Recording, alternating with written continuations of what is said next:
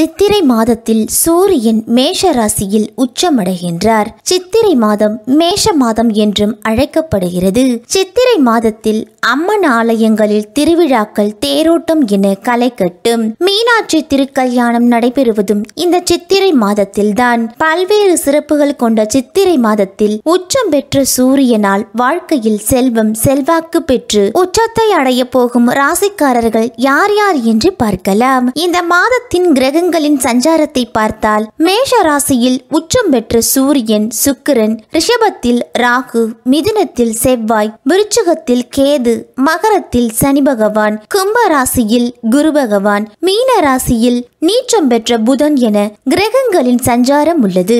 கிரகங்களின் இடப்பெயர்ச்சியை பார்த்தால் புதன் மூன்றாம் தேதி இடப்பெயர்ச்சியாகி மேஷ ராசிக்கு வருகிறார். பதினேழாம் தேதி ரிஷப ராசிக்கு பயணத்தை மேற்கொள்கிறார். சுக்கிரன் இருபத்தி ஒன்றாம் தேதி மேஷ ராசியில் இருந்து ரிஷப ராசிக்கு பயணம் செய்கிறார். மற்ற கிரகங்கள் அனைத்தும் எந்தவித மாற்றமும் இல்லாமல் இருக்கிறது. இந்த கிரகங்களின் சஞ்சாரத்தை பார்த்தால் மேஷம் முதல் மீனம் வரை பனிரெண்டு ராசிக்காரர்களுக்கும் இந்த சித்திரை மாதம் எப்படி இருக்கும்? என்னென்ன பலன்கள் எல்லாம் உங்களுக்கு கொடுக்க போகிறார்கள் என்பதை பார்க்கலாம். அன்பான மேஷராசிக்காரர்களுக்கு இனிய புத்தாண்டு நல்வாழ்த்துக்கள். மேஷராசிக்காரர்களுக்கு இந்த சித்திரை மாதத்தின் கிரக நிலைகளை ஆராய்ந்து பார்க்கும் பொழுது உங்கள் ராசிநாதன் செவ்வாய் லாபஸ்தானத்தில் உள்ள குரு பகவானை பார்க்கின்றார். எனவே உங்களுக்கு குரு மங்கள யோகம் ஏற்பட்டு இல்லத்தில் சுப காரியங்கள் நடைபெற வாய்ப்புகள் உள்ளது. பொருளாதாரத்தில் சிறப்பான வளர்ச்சி இருக்கும்.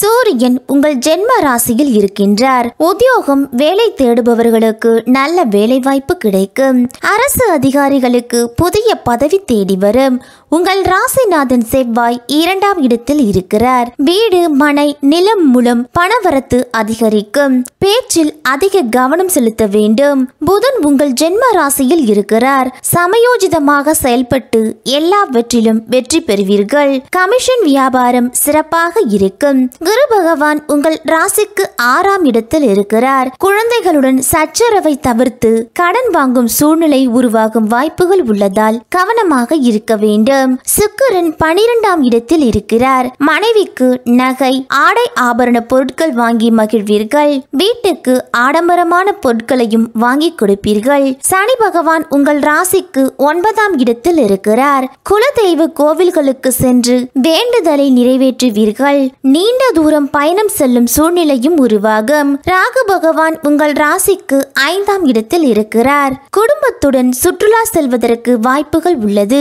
கேது பகவான் உங்கள் ராசிக்கு பதினோராம் இடத்தில் இருக்கிறார். தொழிலில் நல்ல லாபம் கிடைக்கும். இந்த மாதத்தின் தொடக்கத்தில் உங்கள் ராசியிலேயே சூரியன் புதன் சுக்கிரன் சந்திரன் ஆகிய நான்கு கிரகங்களும் இணைந்து சஞ்சரிக்கின்றார்கள். எனவே உங்களுக்கு புத ஆதித்ய யோகமும் புத சுக்கிர யோகமும் ஏற்படும். இதனால் கல்வி சம்பந்தமாக எடுத்த முயற்சிகள் அனைத்திலும் உங்களுக்கு வெற்றிகள் கிடைக்கும். ஆடை ஆபரண சேர்க்கை உருவாகும். பொது நலத்தில் இருப்பவர்களுக்கு எதிர்பார்த்த பதவி பொறுப்புகள் கிடைக்கும். அஷ்டமத்தில் கேது பகவான் இருப்பதால் ஆரோக்கியத்தில் மட்டும் அக்கறை செலுத்துவது நல்லது.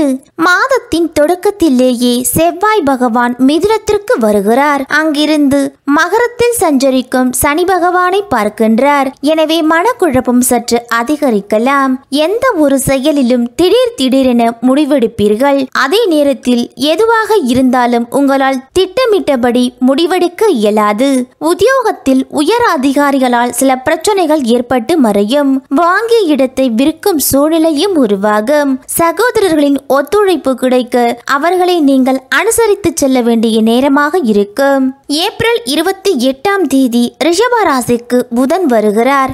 உங்கள் ராசிக்கு மூன்று ஆறு ஆகிய இடங்களுக்கு அதிபதியானவர் புதன்.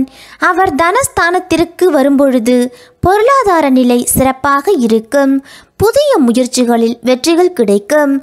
அதிகார வர்க்கத்தினரின் ஆதரவோடு முன்னேற்றம் காணலாம். உடன்பிறப்புகள் வாயிலாக ஒரு நல்ல காரியம் நடைபெறும். கொடுக்கல் வாங்கல் சிறப்பாக நடக்கும். ஆறாம் இடத்திற்கு அதிபதியான புதன் இரண்டாம் இடத்தில் சஞ்சரிப்பது உங்களுக்கு நன்மையாக இருக்கும். உத்தியோகத்தில் நீங்கள் எதிர்பார்த்த பதவி உயர்வு கிடைக்கலாம். மே எட்டாம் தேதி ரிஷபராசிக்கு ராசிக்கு வருகிறார். உங்கள் ராசிக்கு ராசிக்கு இரண்டு ஏழு ஆகிய இடங்களுக்கு அதிபதியானவர் சுக்கிரன். தனஸ்தானத்தில் தனாதிபதியான சுக்கிரன் சஞ்சரிக்கும் பொழுது பணப்புழக்கம் உங்களுக்கு சீராக இருக்கும். பக்கபலமாக இருப்பவர்களின் எண்ணிக்கை அதிகரிக்கலாம். மனக்குழப்பம் அகன்று மதிப்பும் மரியாதையும் குடும்பத்தில் உயரும். வழக்குகளில் உங்களுக்கு வெற்றிகள் கிடைக்கும். வாகனம் வாங்க வேண்டும் என்று நினைப்பவர்களுக்கு வாகன யோகம் உண்டாகும். இழப்புகளை ஈடு செய்ய புதிய வாய்ப்புகள் வந்து சேரும் உத்தியோகஸ்தர்களுக்கு பதவி உயர்வு எதிர்பார்த்த இடமாற்றத்துடன் ஊதிய உயர்வும் கிடைக்கும் மே பனிரெண்டாம் தேதி முதல் மகரத்தில் சனி பகவான் வக்ரம் வருகின்றார் உங்கள் ராசிக்கு தொழில் மற்றும் லாபஸ்தானத்திற்கு அதிபதியான சனி பகவான் வக்ரம் பெறுவது அவ்வளவு நல்லதல்ல. தொழிலில் உடன் இருப்பவர்களால் பிரச்சனைகள் ஏற்படலாம். அதிகாரிகளின் அனுசரிப்பு குறையும். இக்காலத்தில் எதையும் ஆராய்ந்து அனுபவம் மிக்கவர்களுடன் யோசித்து முடிவெடுப்பது நன்மை விளைவிக்கும். செவ்வாய் பகவானை ராசிநாதனாக கொண்ட மேஷ ராசியில் பிறந்தவர்களுக்கு இந்த சித்திரை மாதம் முத்திரை பதிக்கும் மாதமாக இருக்கும்.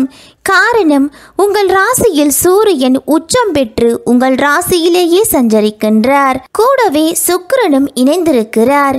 சந்திரனும் மாத துவக்கத்தில் உங்கள் ராசியில் இருப்பது மிகவும் சிறப்பாக இருக்கும் புதனும் விரயஸ்தானத்தில் இருந்து உங்கள் ராசிக்கு வந்து அமர்கிறார். இரண்டாம் வீட்டில் ராகு மூன்றாம் வீட்டில் செவ்வாய் எட்டாம் வீட்டில் கேது பத்தாம் வீட்டில் சனி பகவான் லாபஸ்தானத்தில் குரு பகவான் என இந்த சித்திரை மாதம் கிரகங்கள் மிகவும் அற்புதமாக அமைந்திருக்கிறது. அரசு வேலைக்கு முயற்சி செய்பவர்களுக்கு அரசு வேலை கிடைக்கும். உத்தியோகத்தில் பதவி உயர்வு கிடைக்கும். முக வசீகரம் அதிகரிக்கும். தங்க நகைகளின் சேர்க்கை அதிகரிக்கும். உங்களின் பொருளாதார நிலை இந்த மாதம் மிகவும் அற்புதமாக இருக்கும். தாய் மாமனுக்காக நீங்கள் செலவழிக்க வேண்டியிருக்கும். தொழில் வியாபாரத்தில் லாபம் இரட்டிப்பாக இருக்கலாம். தொட்டது துலங்கும் தொல்லைகள் அகலும். இம்மாதம் பங்கு சந்தைகளில் நம்பி முதலீடு செய்யலாம். திடீர் பணவரவு வந்து திக்குமுக்காட வைக்கும். குடும்பத்தில் மகிழ்ச்சியும் நிம்மதியும் நிலைத்திருக்கும். தொழில் ரீதியான பயணங்கள் பயணங்களால் நன்மை உண்டாகும். வேலைப்பழு அதிகமாக இருந்தாலும் அதனால் கிடைக்கக்கூடிய லாபமும் உங்களுக்கு அதிகமாக இருக்கும். கடின உழைப்பிற்கு ஏற்ற பலன்தான் கிடைக்கும். உயர் அதிகாரிகளின் ஆதரவு மகிழ்ச்சி தரும் விதத்தில் இருக்கலாம். மாணவர்கள் படிப்பில் அதிக கவனம் செலுத்தி படிப்பார்கள். தேர்வுகளை வெற்றிகரமாக எதிர்கொண்டு நல்ல மதிப்பெண்களை பெறுவார்கள். எவ்வளவுதான் நெருக்கமான நண்பர்களாக இருந்தாலும் குடும்ப ரகசியங்களை வெளியில் சொல்ல வேண்டாம். சனி பகவான் உங்கள் ராசிக்கு பத்தாம் இடத்தில் இருக்கிறார். எல்லா முயற்சிகளும் உங்களுக்கு வெற்றியடையும். ராகு பகவான் உங்கள் ராசிக்கு இரண்டாம் இடத்தில் இருக்கிறார். பொருளாதார நிலையில் சிறப்பாக இருந்தாலும் நீங்கள் சேமிப்பை தொடங்குவது நல்லது.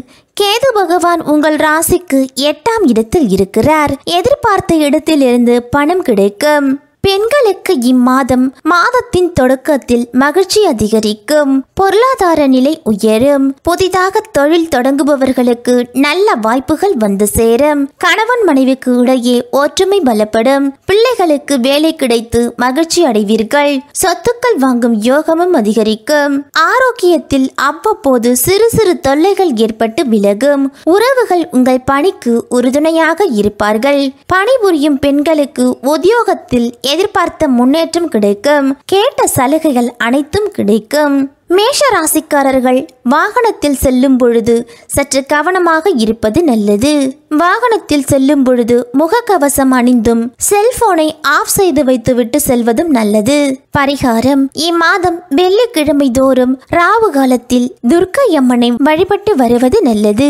பிரதோஷத்தன்று சிவபெருமானுக்கு பால் அபிஷேகம் செய்து வாருங்கள். செவ்வாய்க்கிழமை தோறும் கந்த சஷ்டி கவசம் படித்து முருகப்பெருமானை வணங்க உங்களுக்கு நன்மைகள் அனைத்தும் கிடைக்கும். உடல் ஆரோக்கியத்தில் முன்னேற்றம் பெறுவதற்கு மூச்சு பயிற்சி நடைபயிற்சியை மேற்கொள்வது நல்லது. உங்களால் முடிந்தால் ஏழை பெண்களின் திருமணத்திற்கு உதவி செய்யுங்கள். வயதானவர்களுக்கும் ஆதரவற்றோர்களுக்கும் அன்னதானம் மற்றும் ஆடை தானத்தை அளித்து வாருங்கள். மேஷ ராசிக்காரர்களுக்கு இந்த சித்திரை மாதம் சிறப்பான பலன்களை அள்ளி கொடுக்கும் மாதமாக இருக்கும்.